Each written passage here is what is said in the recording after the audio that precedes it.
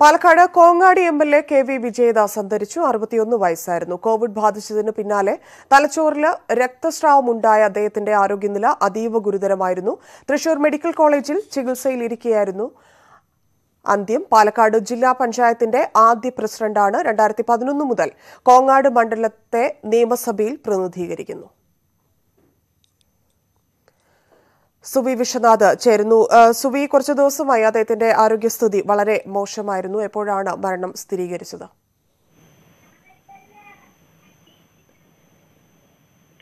ധന്യ ഇന്ന് വൈകിട്ട് ഏഴ് നാൽപ്പതോടുകൂടിയാണ് Palakkad Kongad M L A K V വിജയദാസിന്റെ മരണം ഉണ്ടായിരിക്കുന്നത് അന്ത്യം സംഭവിച്ചിരിക്കുന്നത്. ഏറെ ദിവസമായി അദ്ദേഹം അസുഖബാധിതനായിരുന്നു. അറുപത്തിയൊന്ന് വയസ്സായിരുന്നു അദ്ദേഹത്തിന്.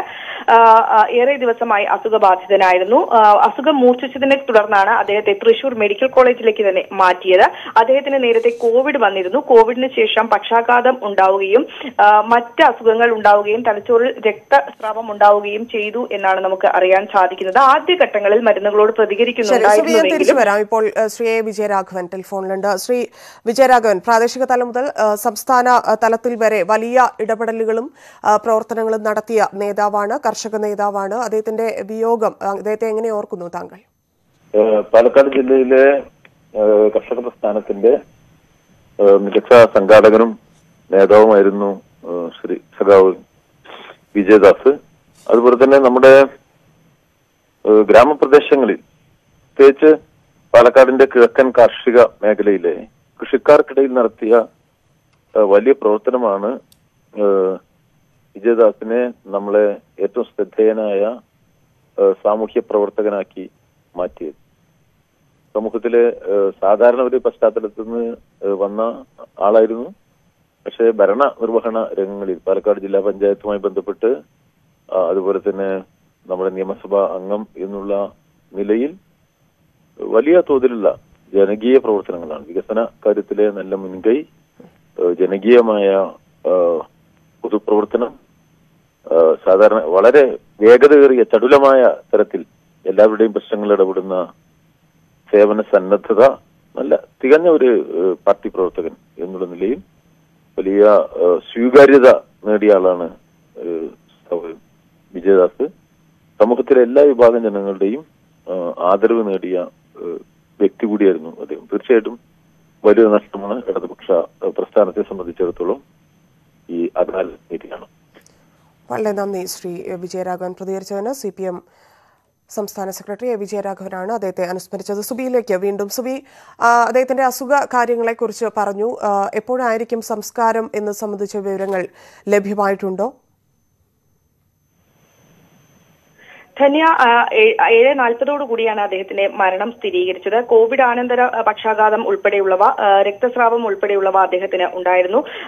ഇന്ന് ഉച്ചയോടുകൂടി തന്നെ അദ്ദേഹത്തിന്റെ ആരോഗ്യനില മരുന്നുകളോട് പ്രതികരിക്കാത്ത തരത്തിലേക്ക് അദ്ദേഹത്തിന്റെ നില മാറുകയായിരുന്നു. വൈകിട്ടാണ് മരണം സംഭവിച്ചിരിക്കുന്നത്. ഏതായാലും ഇപ്പോൾ തൃശൂർ മെഡിക്കൽ കോളേജിൽ മരണം സ്ഥിരീകരിച്ച അല്പസമയം ആയിട്ടേ ഉള്ളൂ. അതിനുശേഷം ഇപ്പോൾ ഇന്ന് രാത്രിയോടുകൂടി തന്നെ മൃതദേഹം ജന്മനാട്ടിലേക്ക് കൊണ്ടുപോകും എന്നാണ് നമുക്ക് അറിയാൻ സാധിക്കുന്നത്. അദ്ദേഹത്തിന്റെ ബന്ധുക്കൾ സം- ആ, തൃശൂർ മെഡിക്കൽ കോളേജിൽ തന്നെ ഉണ്ട്. ഏതായാലും തൃശൂർ മെഡിക്കൽ കോളേജിൽ സി പി എമ്മിന്റെ ഇപ്പോൾ പാർട്ടി പ്രവർത്തകർ ഉൾപ്പെടെയുള്ളവർ തൃശൂർ മെഡിക്കൽ കോളേജിലേക്ക് എത്തിയിട്ടുണ്ട് എന്നാണ് നമുക്ക് അറിയാൻ സാധിക്കുന്നത്. ഇന്ന് ഏതായാലും വളരെ അതായത് ചെറു- ചെറുപ്പം മുതൽ തന്നെ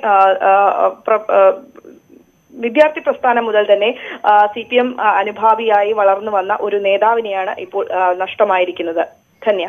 ശരി സുബി തിരിച്ചു വരാം. പ്രസാദ് ഉടുമ്പശ്ശേരി കൂടി ചേരുന്നുണ്ട്. പ്രസാദ് വലിയ നഷ്ടമാണ്. പ്രത്യേകിച്ച് അദ്ദേഹത്തിന്റെ നാട്ടുകാരെ സംബന്ധിച്ച് അവിടുത്തെ കർഷകരെ സംബന്ധിച്ചൊക്കെ വലിയൊരു നഷ്ടം തന്നെയാണ് ഉണ്ടായിരിക്കുന്നത്. അദ്ദേഹത്തിന്റെ സംസ്കാര ചടങ്ങുകളെ കുറിച്ചുള്ള വിവരങ്ങൾ പ്രസാദ് അറിഞ്ഞിട്ടുണ്ടാവുമെന്ന് പ്രതീക്ഷിക്കുന്നു. അതോടൊപ്പം തന്നെ എങ്ങനെയാണ് ആ നാട് അദ്ദേഹത്തിന്റെ വിയോഗത്തിൽ എന്തായിരിക്കും നാട്ടിന്റെ ഒരു പ്രതികരണം? ധന്യ അദ്ദേഹത്തിന്റെ സംസ്കാര ചടങ്ങുമായി ബന്ധപ്പെട്ടുള്ള വിശദാംശങ്ങൾ ഇപ്പോൾ ലഭ്യമായിട്ടുണ്ട്. ഇന്ന് നാളെ പുലർച്ചയോടുകൂടിയാണ് അദ്ദേഹത്തിന്റെ മൃതദേഹം വീട്ടിലേക്ക് എലപ്പുള്ളിയിലെ കാക്കത്തോട് പാറ പാറയ്ക്ക് സമീപം കാക്കത്തോട്ടെ അദ്ദേഹത്തിന്റെ വീട്ടിലേക്ക് എത്തുക. എട്ട് മണി വരെ അവിടെ വീട്ടിലായിരിക്കും മൃതദേഹം ഭൗതികദേഹം അവിടെ ഉണ്ടാകും. അതിനുശേഷം എട്ട് മണി മുതൽ ഒൻപത് മണി വരെ എലപ്പുള്ളി ഗവൺമെന്റ് ഹൈസ്കൂളിൽ പൊതുദർശനത്തിന് വെക്കും. ഒൻപത് മണി മുതൽ പത്ത് മണി വരെയാണ് പാലക്കാട് ജില്ലാ സി പി എം ജില്ലാ കമ്മിറ്റി ഓഫീസിൽ പൊതുദർശനത്തിന് വെക്കും. അതിനുശേഷം പതിനൊന്ന് മണിയോടുകൂടി ചന്ദ്രനഗർ വൈദ്യുത ശ്മശാനം പാലക്കാട് നഗരത്തിൽ തന്നെയുള്ള ചന്ദ്രനഗർ വൈദ്യുത ശ്മശാനത്തിലായിരിക്കും സംസ്കാര ചടങ്ങുകൾ നടക്കുക. ധന്യ സൂചിപ്പിച്ചതുപോലെ തന്നെ വിജയദാസിനെ ഓർക്കുകയാണെങ്കിൽ അദ്ദേഹം താഴെ തട്ട് മുതൽ സി പി എമ്മിന്റെ താഴെ തട്ട് മുതൽ വളരെ സജീവമായി പ്രവർത്തിച്ചുകൊണ്ട് വന്ന ഒരാൾ തന്നെയാണുള്ളത്. ഏറ്റവും എടുത്തു പറയേണ്ടത് അദ്ദേഹം ഇതോടൊപ്പം തന്നെ രാഷ്ട്രീയ പ്രവർത്തനത്തോടൊപ്പം തന്നെ അദ്ദേഹം ഒരു വലിയ നെൽകർഷകൻ കൂടിയായിരുന്നു. അത്രത്തോളം കൃഷിയിൽ സജീവമായിരുന്ന ഒരു രാഷ്ട്രീയ നേതാവ് ജില്ലയിലെ ഒരു പ്രധാനപ്പെട്ട രാഷ്ട്രീയ നേതാവ് കൂടിയാണ് അദ്ദേഹം. നമ്മൾ പലപ്പോഴും ഈ കൃഷിയുമായി കാർഷിക വിഷയങ്ങളുമായി ബന്ധപ്പെട്ടുകൊണ്ട് ഒരു പ്രതികരണം എടുക്കാൻ എം എൽ എ സമീപിക്കുമ്പോൾ അദ്ദേഹം ഏത് മുന്നണിയെ അല്ലെങ്കിൽ ഏത് പാർട്ടിയെ പ്രതിനിധീകരിക്കുന്നു എന്നുള്ളതല്ല. അദ്ദേഹം അവിടെ ആ സമയത്ത് ഒരു സാധാരണ കർഷകനായി നിന്നിട്ടുള്ള തുറന്നുള്ള പ്രതികരണം തന്നെയായിരുന്നു പല ഘട്ടങ്ങളിലും അദ്ദേഹം നടത്തിയിട്ടുള്ളത്. പ്രത്യേകിച്ച് നെല്ല് സംഭരണം ഉൾപ്പെടെയുള്ള വിഷയങ്ങളിൽ വിജയദാസ് വളരെ വൈകുന്ന ഘട്ടത്തിൽ നെല്ല് സംഭരണം ഉൾപ്പെടെയുള്ള കാര്യങ്ങൾ വൈകുന്ന ഘട്ടത്തിൽ അദ്ദേഹം അവിടെ എൽ ഡി എഫ് ആണോ ഭരിക്കുന്നത് അല്ലെങ്കിൽ യു ഡി എഫ് ആണോ ഭരിക്കുന്നത് എന്ന് നോക്കാതെ തന്നെ വളരെ കർക്കശമായ ഒരു നിലപാട് സ്വീകരിക്കുന്ന ഒരു കർഷകനായി അദ്ദേഹം മാറുന്ന മാറുന്ന ഒരു കാഴ്ചയാണ് നമുക്ക് കാണാറുള്ളത്. തൊണ്ണൂറ്റി അഞ്ചിൽ പാലക്കാട് ജില്ലയിലെ ആദ്യത്തെ ജില്ലാ പഞ്ചായത്ത് പ്രസിഡന്റായിരുന്നു അദ്ദേഹം വരുന്നത്. തുടർന്ന് ആ ഘട്ടത്തിൽ തന്നെ ഒട്ടേറെ വികസന പ്രവർത്തനങ്ങൾ പഞ്ചായത്ത് ആദ്യം തന്നെ ഏഷ്യയിൽ തന്നെ ആദ്യത്തെ ജലവൈദ്യുത പദ്ധതി നടപ്പിലാക്കുന്ന ഒരു ജില്ലാ പഞ്ചായത്ത് പാലക്കാടാണ്. ഈ വിജയദാസിന്റെ കാലഘട്ടത്തിലാണ് അത് തുടക്കം കുറിക്കുന്നത്. പിന്നീട് കഴിഞ്ഞ കഴിഞ്ഞതിന്റെ തൊട്ടു മുമ്പത്തെ ഭരണസമിതിയാണ് അത് പൂർത്തീകരിക്കുന്നതെങ്കിലും വിജയദാസിന്റെ കാലഘട്ടത്തിലാണ് അത് തുടരുന്നത്. പിന്നീട് നെൽകൃഷിയെ പ്രോത്സാഹിപ്പിക്കാൻ വേണ്ടിയിട്ടുള്ള ഗാലസ പദ്ധതി ഉൾപ്പെടെ വിജയദാസിന്റെ നേതൃത്വത്തിൽ ഇത് നടപ്പിലാക്കി എന്നുള്ളതാണ്. രണ്ടായിരത്തി പതിനൊന്നിലും രണ്ടായിരത്തി പതിനാറിലും അദ്ദേഹം കോങ്ങാട് നിന്നും എം എൽ എ ആയി. അതിനു മുമ്പ് തന്നെ അദ്ദേഹം എൺപത്തിയേഴിൽ എലപ്പുള്ളി എലപ്പുള്ളി ഗ്രാമപഞ്ചായത്ത് അംഗമായാണ് അദ്ദേഹത്തിന്റെ പാർലമെന്ററി ജീവിതം തുടരുന്നത്. പിന്നീട് എലപ്പുള്ളിയിൽ ലോക്കൽ കമ്മിറ്റി സെക്രട്ടറിയായി ഏറെക്കാലം പുതുശ്ശേരി ഏരിയ ഏരിയ കമ്മിറ്റി സെക്രട്ടറിയായി ഇപ്പോൾ ജില്ലാ സെക്രട്ടേറിയറ്റ് അംഗമാണ് കർഷക സംഘത്തിന്റെ ജില്ലാ പ്രസിഡന്റ് കൂടിയാണ് അദ്ദേഹം. നേരത്തെ ഞാൻ സൂചിപ്പിച്ചതുപോലെ തന്നെ വലിയ വിഷയങ്ങളിൽ ഇത്തരം രാഷ്ട്രീയ വിഷയങ്ങൾക്കൊപ്പം തന്നെ ഏറെ കാർഷിക വിഷയങ്ങളിൽ വലിയ സജീവമായി ഇടപെടുകയും അതോടൊപ്പം നിയമസഭയിൽ ഉൾപ്പെടെ ഇത്തരം വിഷയങ്ങളിൽ സജീവമായി ഇടപെട്ട് അതിന്റെ ആവശ്യങ്ങൾ ഉന്നയിക്കുകയും ചെയ്തിരുന്ന ഒരു രാഷ്ട്രീയ നേതാവ് കൂടിയാണ്. അതുകൊണ്ട് തന്നെ അദ്ദേഹം പ്രതിനിധീകരിക്കുന്ന കോങ്ങാട് മണ്ഡലത്തിൽ പ്രത്യേകിച്ച് അവിടെ കാഞ്ഞിരപ്പുഴയെല്ലാം ഉൾപ്പെടുന്ന മലയോര മേഖലകൾ കൂടി ഉൾപ്പെടുന്ന ഒരു പ്രദേശമാണ്. അവിടുത്തെ വിഷയങ്ങളിലെല്ലാം ഒരു എം എൽ എ എന്നതിന്റെ അപ്പുറത്തേക്ക് ഒരു കർഷകനായി നിന്നുകൊണ്ട് പ്രതികരിക്കുകയും ആ സമരങ്ങളിൽ ഇടപെടുകയും ചെയ്തിരുന്ന ഒരു രാഷ്ട്രീയ നേതാവ് കൂടിയാണ്. ജില്ലയെ സംബന്ധിച്ചിടത്തോളം അല്ലെങ്കിൽ വലിയ ഒരു സി പി എമ്മിന് മാത്രമല്ല രാഷ്ട്രീയത്തിന് തന്നെ ഒരു വലിയ നഷ്ടമായി ഇദ്ദേഹത്തിന്റെ ഈ വിയോഗത്തെ വിലയിരുത്താം. ഇതിനു പുറമെ ഈ എം എൽ എ ഇത്തരം പാർലമെന്ററി പ്രവർത്തനങ്ങൾക്ക് പുറമെ അദ്ദേഹം തേനാരിയിൽ ക്ഷീരോത്പാദക സഹകരണ സംഘത്തിന്റെ സ്ഥാപക പ്രസിഡന്റായിരുന്നു. സംസ്ഥാന സഹകരണ ബാങ്കിന്റെ ഡയറക്ടർ പ്രൈമറി കോപ്പറേറ്റീവ് അസോസിയേഷൻ ജില്ലാ പ്രസിഡന്റ് അതോടൊപ്പം എലപ്പുള്ളി സർവീസ് സഹകരണ ബാങ്ക് പ്രസിഡന്റ് തുടങ്ങിയ ചുമതലകളെല്ലാം അദ്ദേഹം വഹിച്ചിരുന്നു.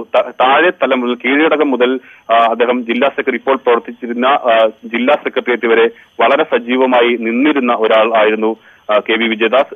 അതോടൊപ്പം എടുത്തു പറയേണ്ടത് ഇപ്പം നമുക്കറിയാം വി എസിന്റെ ആരോഗ്യനില അറിയാം. അത് കണക്കിലെടുത്ത് മലമ്പുഴ മണ്ഡലത്തിന്റെ കൂടി മറ്റ് ചുമതലകൾ കൂടി അദ്ദേഹം വഹിച്ചിരുന്നു.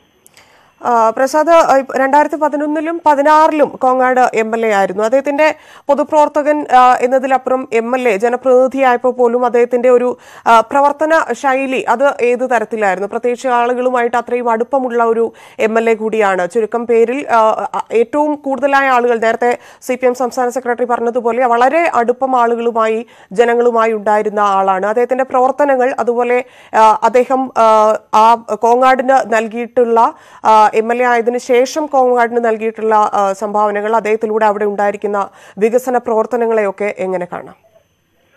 ധന്യ ധന്യ സൂചിപ്പിച്ചതുപോലെ തന്നെ രണ്ടായിരത്തി പതിനൊന്നിലും രണ്ടായിരത്തി പതിനാറിലും കോങ്ങാട് മണ്ഡലം മറ്റ് മണ്ഡലങ്ങളെ അപേക്ഷിച്ച് നോക്കുമ്പോൾ അത്രത്തോളം പുരോഗമ അതായത് അല്പം പിന്നോക്കം നിന്നിരുന്ന ഒരു മണ്ഡലമായിരുന്നു. അവിടെ കാര്യമായ വികസന പ്രവർത്തനങ്ങൾ നടത്തുന്നതിന് വേണ്ടി സജീവമായി ഇടപെട്ടു എന്നുള്ളത് തന്നെയാണ് അദ്ദേഹത്തിന്റെ ഒരു പ്രവർത്തനത്തെ നമുക്ക് വിലയിരുത്താൻ കഴിയുക. കാരണം മലയോര മേഖലകൾ ഉൾപ്പെടുന്ന കാഞ്ഞിരപ്പുഴ പോലെയുള്ള പ്രദേശങ്ങൾ അതോടൊപ്പം തന്നെ കാർഷിക മേഖല ഉൾപ്പെടുന്ന കോങ്ങാട് പോലെയുള്ള കോങ്ങാട് അത്തരം ആ മേഖലകളിലെല്ലാം തന്നെ പറളി പോലെയുള്ള പ്രദേശങ്ങളിലെല്ലാം തന്നെ ഓരോ വിഷയങ്ങളിലും സജീവമായി ഇടപെട്ടിരുന്നു എന്നുള്ളതാണ്. ഈ മണ്ഡലത്തിൽ അദ്ദേഹത്തിന്റെ മണ്ഡലത്തിൽ അദ്ദേഹം നേരിട്ടിരുന്ന പ്രധാനപ്പെട്ട ഒരു കാർഷിക പ്രശ്നം എന്ന് പറയുന്നത് ഈ വന്യജീവികളുടെ ശല്യവുമായി ബന്ധപ്പെട്ടിരുന്ന പ്രശ്നങ്ങളായിരുന്നു. അത്തരം സമരങ്ങളെല്ലാം പൊതുവെ ഇത്തരം വിഷയങ്ങളിൽ തന്നെ രാഷ്ട്രീയം മറന്ന് പൊതുവായ ഒരു കൂട്ടായ്മയിൽ ആ പ്രദേശങ്ങളിലെല്ലാം തന്നെ സമരങ്ങളെല്ലാം തന്നെ നടക്കാറുണ്ട്. ആ സമരങ്ങളെല്ലാം തന്നെ ഇദ്ദേഹം അതിന് അത് ഏത് പാർട്ടി നടത്തുന്നു അല്ലെങ്കിൽ ഏത് കൂട്ടായ്മ നടത്തുന്നു എന്നുള്ളതല്ല അവിടെയെല്ലാം തന്നെ സജീവമായി ഇടപെടുകയും എല്ലാം തന്നെ ചെയ്തിരുന്നു എന്നുള്ളതാണ്. മറ്റൊന്ന് മണ്ഡലത്തിന്റെ അടിസ്ഥാന വികസന പ്രശ്നങ്ങൾ പരിഹരിക്കുന്നതിൽ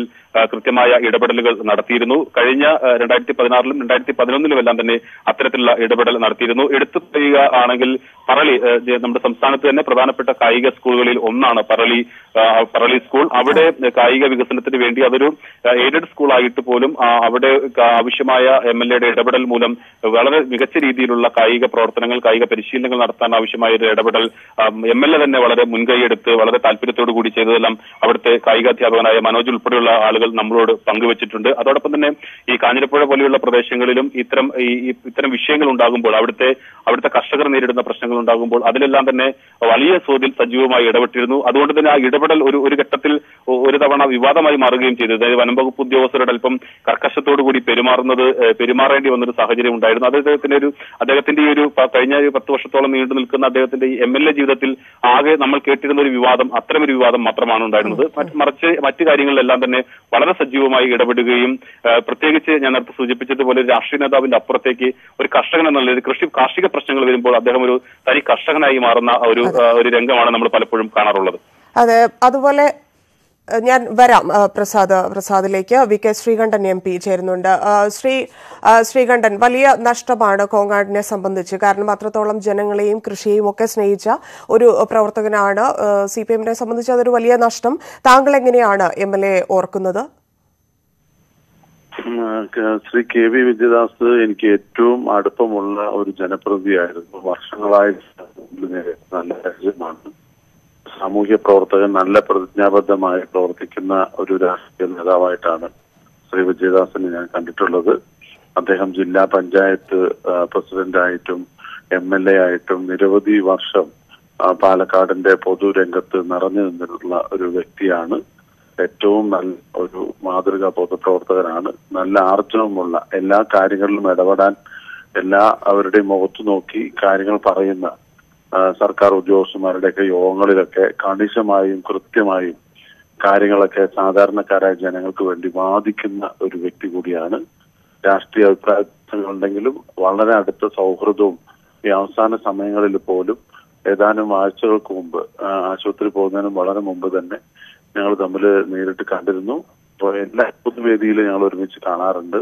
വലിയൊരു നഷ്ടമാണ് പാലക്കാടിന് എന്ന് പറയുകയാണ്. ശരി വളരെ നന്ദി ശ്രീ വി കെ ശ്രീകണ്ഠൻ പ്രതികരിച്ചതിന്.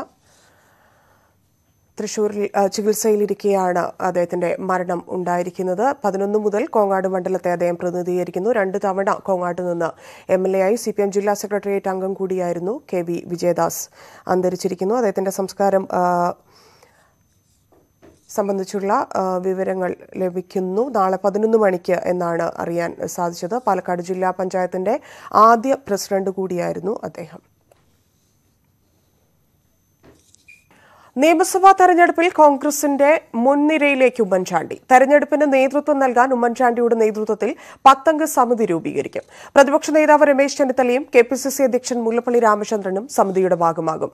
ഒറ്റക്കെട്ടായി പ്രവർത്തിക്കാൻ സംസ്ഥാന നേതൃത്വത്തോട് സോണിയാഗാന്ധി നിർദ്ദേശിച്ചു. കോൺഗ്രസിലെ ഒന്നാമനാരെന്ന തർക്കങ്ങൾക്ക് അവസാനമാകുന്നു. നിയമസഭാ തെരഞ്ഞെടുപ്പിൽ കോൺഗ്രസിനെ നയിക്കാൻ ഉമ്മൻചാണ്ടിയുടെ നേതൃത്വത്തിൽ പത്തംഗ സമിതി. ഉമ്മൻചാണ്ടി നയിക്കുന്ന സമിതിയിൽ പ്രതിപക്ഷ നേതാവ് രമേശ് ചെന്നിത്തലയും കെ പി സി സി അധ്യക്ഷൻ മുല്ലപ്പള്ളി രാമചന്ദ്രനും ഭാഗമാകും. സോണിയാഗാന്ധി രാഹുൽ ഗാന്ധി കേരളത്തിന്റെ ചുമതലയുള്ള A general secretary Tariq Anwar എന്നിവരുമായി ഡൽഹിയിൽ നേതാക്കൾ നടത്തിയ കൂടിക്കാഴ്ചയിലാണ് സമിതി രൂപീകരണത്തിൽ തീരുമാനമായത്. ഒറ്റക്കെട്ടായി പ്രവർത്തിക്കാൻ സംസ്ഥാന നേതൃത്വത്തോട് സോണിയാഗാന്ധി നിർദ്ദേശിച്ചു. മുഖ്യമന്ത്രി സ്ഥാനാർത്ഥി ഉണ്ടാകില്ലെന്നും കൂട്ടായ നേതൃത്വം നയിക്കുമെന്നും എ കെ ആന്റണി പ്രതികരിച്ചു. യുവാക്കൾക്കും വനിതകൾക്കും കൂടുതൽ പ്രാതിനിധ്യമുണ്ടാകും. കേരളത്തിലെ നേതാക്കന്മാർ കേരളത്തിലെ Congress party U D F ഒറ്റക്കൊറ്റായി എല്ലാ അർത്ഥത്തിലും തിരഞ്ഞെടുപ്പിന്റെ തയ്യാറെടുപ്പിന്റെ ഓരോ ഘട്ടത്തിലും പ്രവർത്തിക്കണമെന്നാണ് സോണിയാജിയും രാഹുൽ ഗാന്ധിയും നേതാക്കന്മാരോട് പറഞ്ഞത്. മുഖ്യമന്ത്രി സ്ഥാനാർത്ഥിയെ മുൻനിർത്തിയാകില്ല പ്രചാരണം. ആരു നയിക്കണമെന്നതിൽ അന്തിമ തീരുമാനം ഹൈക്കമാൻഡിന്റേതെന്ന് Tariq Anwar. Not yet decided, not yet, because Congress President's approval is needed. കോൺഗ്രസിൽ ഭിന്നതയുണ്ടെന്ന് വരുത്തി തീർക്കാൻ ആര് ശ്രമിച്ചാലും നടക്കില്ലെന്ന് ഉമ്മൻചാണ്ടി പറഞ്ഞു. എന്നാൽ പുതിയ ചുമതലയുടെ കാര്യത്തിൽ ഉമ്മൻചാണ്ടി പ്രതികരിച്ചില്ല. ഞങ്ങളെല്ലാം ഒറ്റക്കെട്ടാണ് യു ഡി എഫ് ഒറ്റക്കെട്ടാണ് ഈ തെരഞ്ഞെടുപ്പിൽ. ഒറ്റക്കെട്ടായിട്ട് നിന്ന് മത്സരിക്കും. ഡി സി സി അഴിച്ചുപണിയിലും ഹൈക്കമാൻഡ് ഫോർമുല മുന്നോട്ട് വെച്ചു. ഡി സി സി അധ്യക്ഷ പദവി ഒഴിയുന്നവർക്ക് സ്ഥാനാർത്ഥിത്വത്തിൽ മുൻഗണന നൽകാനാണ് തീരുമാനം. അഞ്ച് സംസ്ഥാനങ്ങളിൽ നടക്കാനിരിക്കുന്ന നിയമസഭാ തെരഞ്ഞെടുപ്പിൽ ഹൈക്കമാൻഡ് ഏറ്റവും പ്രതീക്ഷയർപ്പിക്കുന്നത് കേരളത്തിലാണ്.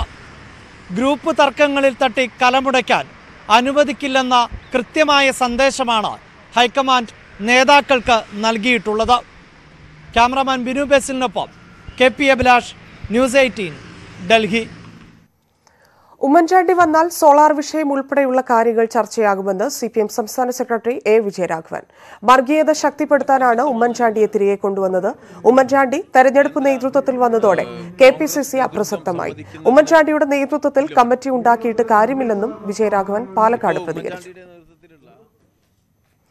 നിയമസഭയിൽ വെച്ച സി എ ജി റിപ്പോർട്ടിൽ കിഫ്ബിക്കെതിരെ ഗുരുതര പരാമർശങ്ങൾ. മസാല ബോണ്ട് വഴി വിദേശ വായ്പയെടുത്ത കിഫ്ബിയുടെ നടപടി ഭരണഘടനാ വിരുദ്ധമാണ്.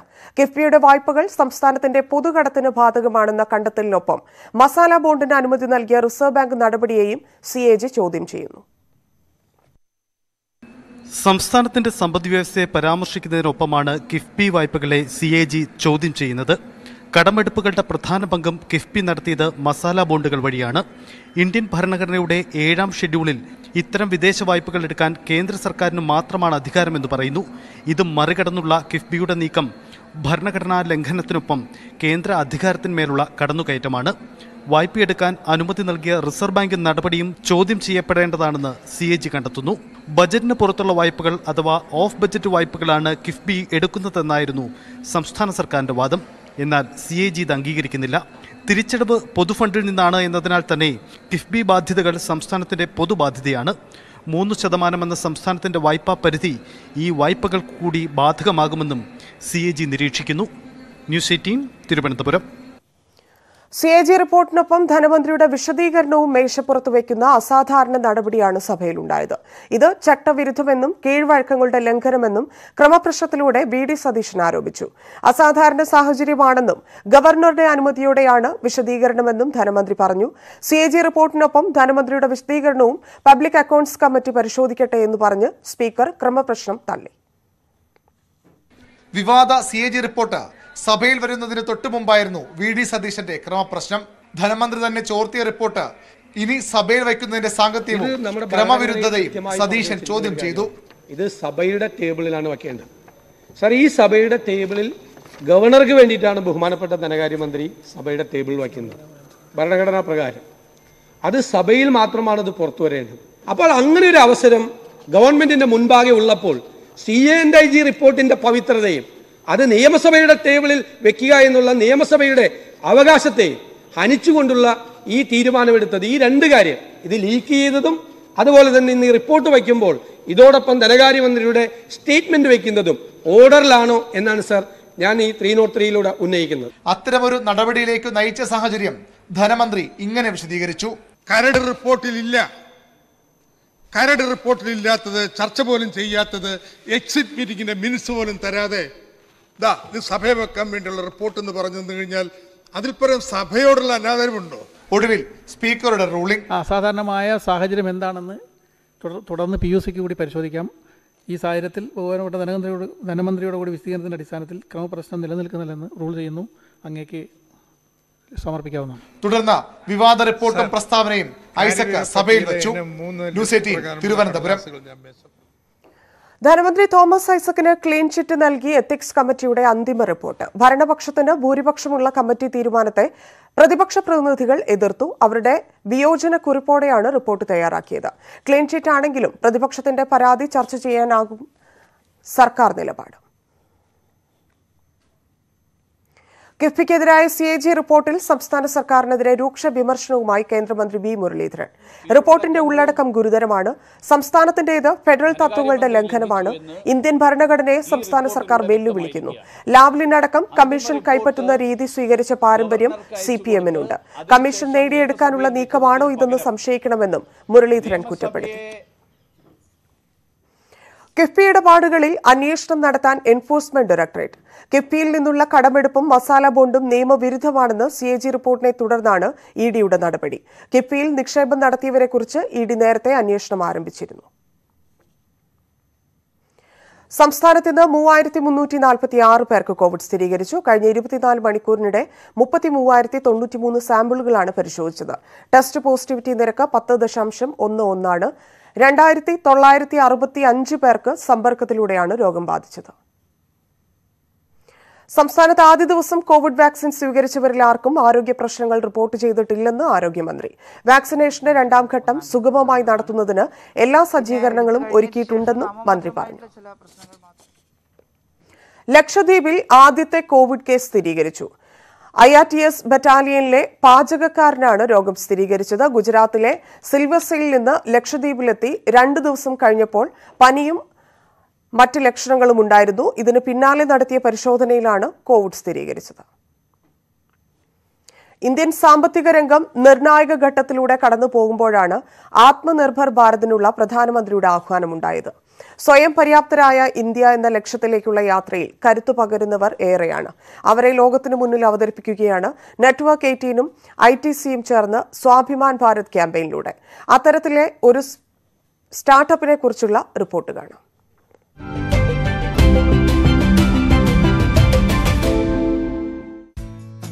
Log9 Materials is a nanotechnology startup. Founded in 2015, it aims to create sustainable energy and accelerate the commercial use of graphene. It has acquired 16 patents in graphene synthesis and graphene products. We started Lognet Materials from the idea of basically developing competency in nanotechnology within India. Uh, the idea was to kind of develop technologies indigenously and uh, then develop products from this. That's was the genesis of Log9. Log9 Materials makes aluminium fuel cells. They are a 100% green form of alternate energy which are long range, cost effective, and easy to use. It has the potential to revolutionize the electric vehicles industry. What we are trying to do is adopt solutions which are uh, particularly developed for the Western world or countries uh, or basically places outside India. India as a geographical location has very different requirements from batteries and electric vehicles and hence developing local technologies and customizing technologies as per local needs is very important. Log9 Materials is pioneering sustainable energy and technology in India the Swabhiman way.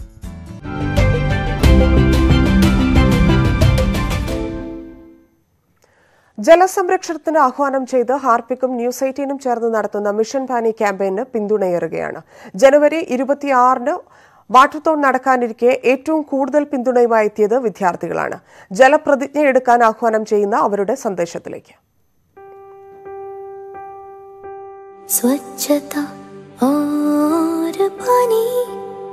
It is a wonderful cause. because water is such an important part of our lives. Even the students should be made aware of this. We will use water more judiciously and save every drop we can. Conserve water, conserve life. Save the future. We pledge to be water smart. We also pledge to support water conservation efforts and water equality and work towards the day no one has to struggle for water. हमको बचानी है ये जिंदगानी news updates പൂർണ്ണമാവുന്നു നമസ്കാരം